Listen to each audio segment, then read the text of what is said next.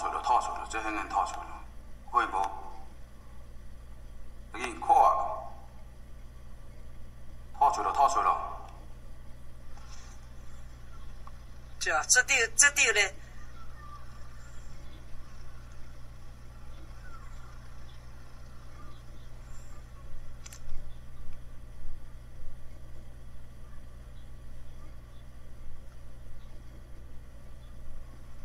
这这地聊了这周啊，就这这这都在西凉看呢，就带队都在叫，叫这地的城城呢，城门卫。行，那赶着路去。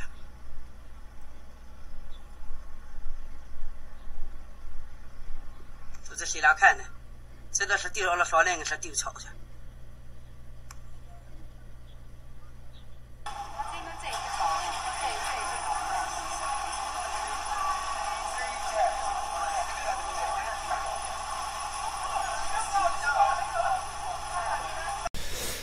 大家好啊！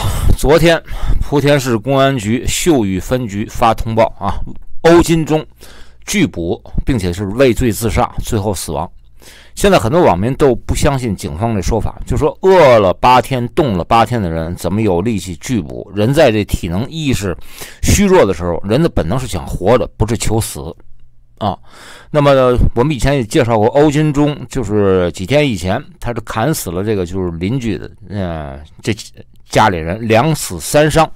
所以现在舆论呢都是支持这欧金忠。那么这个根据通警方通报，他是十八号下午三点左右，就是公安，大家看到刚才那个视视频前面有很多就是公安武警，他就围捕，就是欧金忠，他是在这个平海镇上林村一个山洞里边拒捕。畏罪自杀，送到医院之后抢救无效死亡。这个啊，这个是根据警方的通报说，在山洞里拒捕，然后畏罪自杀。他怎么畏罪自杀的？然后送到这这这个医院里边抢救啊无效死亡啊？怎么自杀？咬舌自杀？撞墙自杀啊？他怎么怎么被发现？他怎么被发现是上林一个山洞里边了啊？这个是相邻的村儿一个村民。发现就上林村一个村民那那里面获得消息，就说你们就说我们这个村啊，现在那个欧金忠现在跑了，不知道藏在哪儿啊。相邻的就隔壁的那个村里边发现这个什么叫欧金忠在山洞里，就是什么他在挖一个就是村民家里这个地瓜来充饥，结果呢被这村民举报，举报到警方的嗯。那里边，那么警方呢就赶快派这个武警还有警察到附近，就是然后这个呃隔壁村，然后这呃就抓这个欧金忠啊。那么这个根据这个这村民他们表示，他说欧金忠他们被抓的时候，他已经就是体力不支了。欧金忠运出来的时候，这嗯村民呢要这个呃警察，就是说你你不要打死他，千万不要打死他，你他让他把事情说出来以后。接受法律的处罚，哪怕你判他都可以，啊。那么现在就是村民他就反映，就说警方现在是严密封锁消息。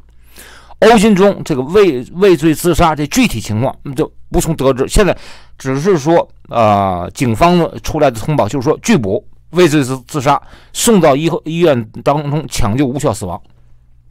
那么就是说，现在根据当地人的反应，就是欧金忠被运出来的时候，他是他还是活着的。啊，当地人他们就是现在在估计，公安机关希望他是死的啊。如果死的话，就是一了百了。有很多人他会松了一口气，他就不需要查了。待会儿我会说，谁都松了一口气啊。那么现在警方就通报出来了，欧金忠的嗯家属要求对这遗体进行法医鉴定。你换句话说，你你你说他是畏罪自杀对吧？我们需要一个法医鉴定。你你要解剖，警方就是公安拒绝，不能。不能就就是法医鉴定，那意思就是赶快烧了，烧啊就烧了就算了啊。那么呃，现在就是说呃，根据当地村民就呃就是表示，就是说上林村就是也就欧金忠他住的这个村，还有周边这几个村，这几个镇现在都是这当地就是警方的呃就封锁啊。那么欧金忠被被抓以后，封锁就更严了，他们怕什么？怕这记者进这村或进这这些镇。还有一些傻逼你妈网红那个主播也奔着这个村里上林村，也也就是也来了啊，那么这现在就是这这帮傻逼网红，还有这帮傻逼主播们啊，还还有那些记者们，根本没有办法进这村。为什么进这个村，你还要身份证？包括本地的村民，你你你如果进这村，也得要身份证。现在就根据当地村民他们爆料，他说现在福呃福建莆田啊、警方就是在搜索欧金中当中当中这过程当中，很多架直升飞机在在呃就是天上盘旋啊，这村干部都拿这钢管守在村口啊，呃，大家也知道很荒谬的，前一段那个那个公安政府他不是发布那个悬悬赏公公报，就是欧金中嘛，他不就是发现线索奖两万，发现尸体奖五万啊？你他妈这这，我说句不好听，你你们他妈这帮共产党就他妈欠揍，你知道？就他妈欠他妈像欧金中这这帮人，就是连你们这这帮村干部带他妈警察带他妈你这帮就是村霸一起都他妈宰了就算了，这他妈是人写，这他妈是人写出来的，就这种悬赏公告啊！所以很现在很很多人他都在就是说这个当地警方这个通报以后，就是这公告出来以后，很多民众他就那不就质疑吗？这悬赏通告就是要知道，他们不可能让这欧金忠活下去。你你你知道吗？没找到的时候还活着啊，找到的时候就死了啊。现在就是今晚这莆田就当局，包括警方，包括这个就是公呃，包括公安，包括他们这些村干部，包括他们这个政府，现在今天晚上可能得喝庆功酒，得他妈喝大酒，得喝喝躺下去，可死了，你知道吗？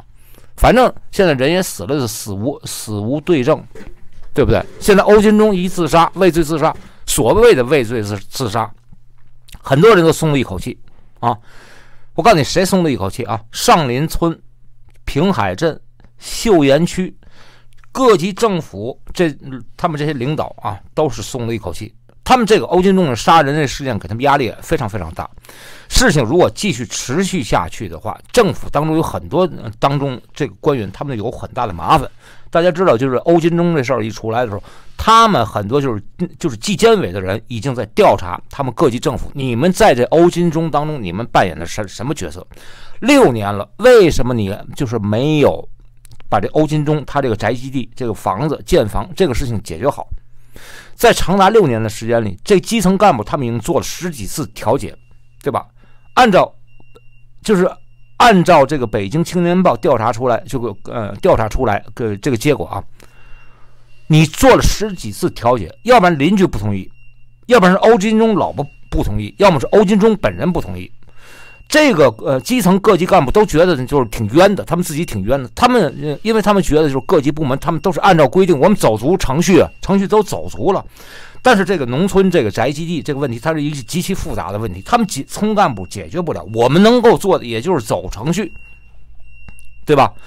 问题是什么？他们只管走程序，根本没有解决问题。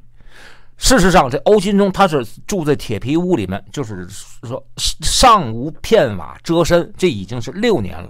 另一个报道他说什么啊？不是二零一七年，从二零一九年开始，我操他妈有有他妈差别吗？一个人在他妈铁皮屋子里多住两年，这是问题吗？从他妈二零一七年住或者二零一一九年呃就住这铁皮屋，你他妈呃掰扯这种时间问题，你他妈就有有差别吗？不都是没有房子吗？个傻逼！我操！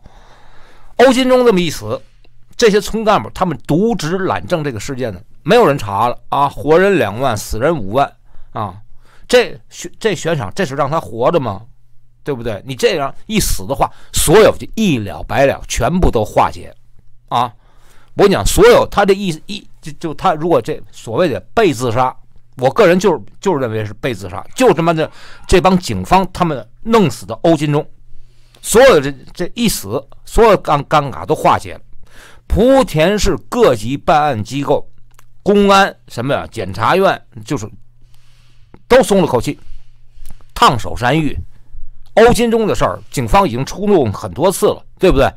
他也报了警了。大多数大多数都是什么？欧金忠他自己吃亏，毕竟他是闹事儿的人，他是报警的人。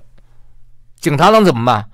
你把欧金忠抓起来。他因为闹事儿，你你把他抓起来，这不合规矩啊，对不对？警察肯定烦他，动不动你投诉报警，你一投诉我们他们就得来，每次来之后还得还就是还得给你们嗯做这个出警记录，对不对？反正大家大家不都混碗饭吃吗？对不对？你也不能压他们那个欧金中那那个邻居，对吧？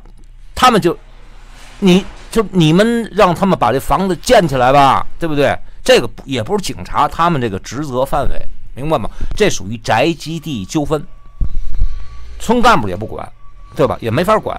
然后这个那个警察也他妈管不了，对吧？莆田法院也松了口，检察院、法院都松松了口气，检察院也不用起诉了。对不对？你如果敖金忠活着的话，就是两死三伤，这肯定要起诉啊，对不对？法院也也松了口气，对不对？你说你怎么判？肯定是肯肯定是判死，这事儿太难办了，对吧？一方面，欧金忠结就是的的确确的杀人，还杀俩，还三伤，里边还有一就是一就就是一个一个儿童。另一方面，你判死，中国什么自古杀人偿命，欠债还钱。你如果判他死，肯定你这肯定是死刑。你如果真判他死刑，但是民意站在欧金忠这一边你如果要是说法外施恩的话，那全国人民就是说这个唾沫星子也得把你的福田法院给你冤了。而且欧金忠他肯定上诉，一上诉呢，肯定上上诉到中院。中院在哪儿呢？肯定是福建，福建省中院，对吧？你如果死刑就最后核实死死刑的，他还要最高院。最高人民法院核刑死刑判死刑，所以你如果真要是到了打到法院那边的话，这个全国人民、全中国人民唾沫星子把你各级法院都能给你淹了。嗯，法案法外施人，你这个裁量权到底在在哪里？你就是说大家心里都没底。那除非上面有人说话。所以说这欧欧金忠他现在死了，所谓的畏罪自杀最干净了。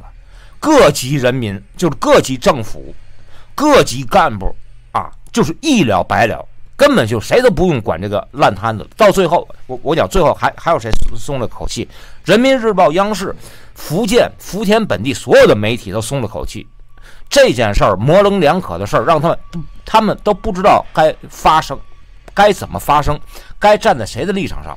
也就胡锡进那种傻逼，那种雕盘出了一个嘛杀人杀人是不应该的，你知道吗？他不前头写了一个那个微博，网民怎么又开始骂他？你知道，也就胡锡进这种傻逼、这种冲动的、这种屌、这种鸡巴，敢他妈写那，就是写那种微博，结果让网民骂。人民日报、央视、福建各，就是还有其他那些官媒，松了口气。为什么？这次这事儿，我就是不知道站什么立立场。现在呢，就是说，好了，好了，反正人也死了。对不对？反正就是一了百了，呃，写几个就是不痛不痛不痒的文章啊。这几天的这个媒体，他们一直干嘛？一直在找一个找一个好的一个角度。这个角度写完之后呢，又又体现了就是我们谴责这这这这种暴力，又体现了就是说我们就是体体察民意，对不对？这个角度真是不好找，哪个角度你都站不稳，你又不能站在杀人犯立场上。你又不能站在就是群众这个对立面上面，所以说，欧洲欧金忠自杀了，这是最佳结果啊，所以就就摆脱了啊，嗯，这这个就是再写什么文文章，反正人已死了，对吧哈？所以就这这个就是说，我我我个人认为，为为什么今天我就要说欧金忠死了，很多人都松了松了口气，大家现在明明白了吧？这事儿就结束了啊。下面再杀人，那是说下面杀人，另外一个案子，啊，好吧，这段就就呃就说到这儿吧啊。欧金忠挺义气，挺挺他妈仗义，操，最最后来一个就是畏罪自杀，我操，好，这段到这。